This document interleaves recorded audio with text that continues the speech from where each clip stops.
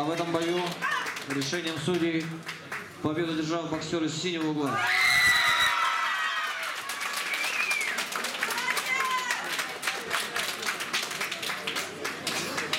Thank you.